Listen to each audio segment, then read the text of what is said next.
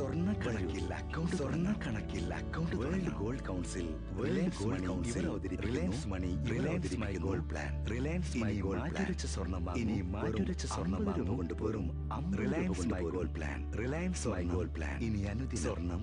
ഇനി അനുദിനം.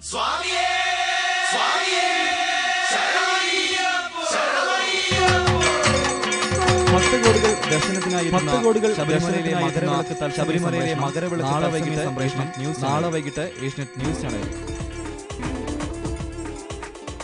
തുടരുന്നു ഇനി മറ്റു വാർത്തകൾ വാർത്തകൾ തുടരുന്നു ഇനി മറ്റു മിസ്റ്റർ വാർത്തകൾ ലൈറ്റ് വാർത്തകൾ മിസ്റ്റർ ലൈറ്റ് വാർത്തകൾ mister light magic rechargeable mister light magic rechargeable LED lamp വീട്ടിലെ ട്രാൻസ്പ്ലാന്റേഷൻ മുടിയുടെ ഉള്ളു കുറയലിന് പരിഹാരം മുടിയുടെ ഉള്ളു കുറയലിന് പരിഹാരം രണ്ട് മിനിറ്റിൽ. സീറ്റസ് ഒമാനിലെ കടൽ തീരപ്രദേശത്ത് ഒമാനിലെ കടൽ തീരപ്രദമായ ശക്തമായ കാറ്റിന് സാധ്യതയെന്ന് കാലാവസ്ഥാ നിരീക്ഷണ പ്രഖ്യാപിച്ചു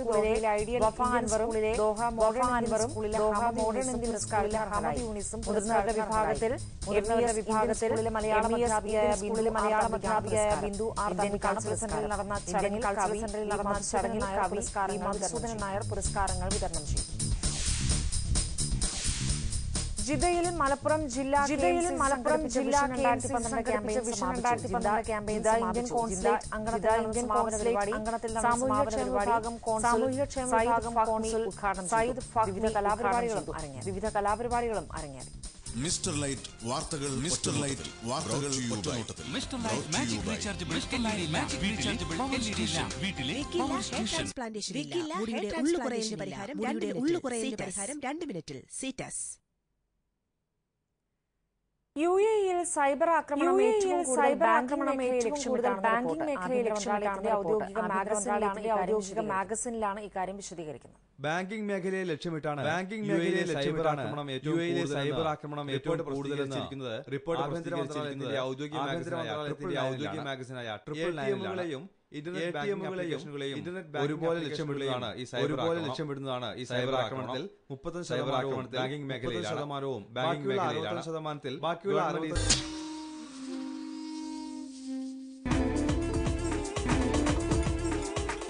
വാർത്തകൾ തുടരുന്നു കൂടുതൽ കായിക വാർത്തകൾ തുടരുന്നു കൂടുതൽ കായിക സമർപ്പിക്കുന്നത് ഉറപ്പായും സമർപ്പിക്കുന്നത് മികച്ച വിനിമയം ലഭിക്കുന്ന മികച്ച വിനിമയ നിരക്കുകൾ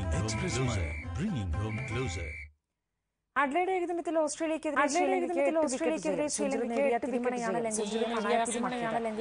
പുറത്താകാതെ നൂറ്റി പുറത്താകാതെ നൂറ്റി പന്ത് ബാക്കി നിർത്തിയാണ് പന്ത് നിർത്തിയാണ് ശ്രീലങ്കയുടെ ലെസത് മലിംഗ മൂന്ന് വിക്കറ്റ്. ലെസത് മലിംഗ മൂന്ന് പെരേരയും രണ്ട് വിക്കറ്റ് മാത്യൂസും വീതം പെരേരയും രണ്ട് ബ്രാഡ് ഹാഡിനാണ് അൻപത് ബ്രാഡ് ഹാഡിനാണ് ഓസീസ് നിരയിലെ ടോപ്പ് സ്കോർ സ്പോർട്സ് ന്യൂസ് സമർപ്പിച്ചത് ഉറപ്പായും ന്യൂസ് ലഭിക്കുന്ന സമർപ്പിച്ചത് മികച്ച വിനിമയ ലഭിക്കുന്ന മികച്ച. വിനിമയ നിരക്കുകൾ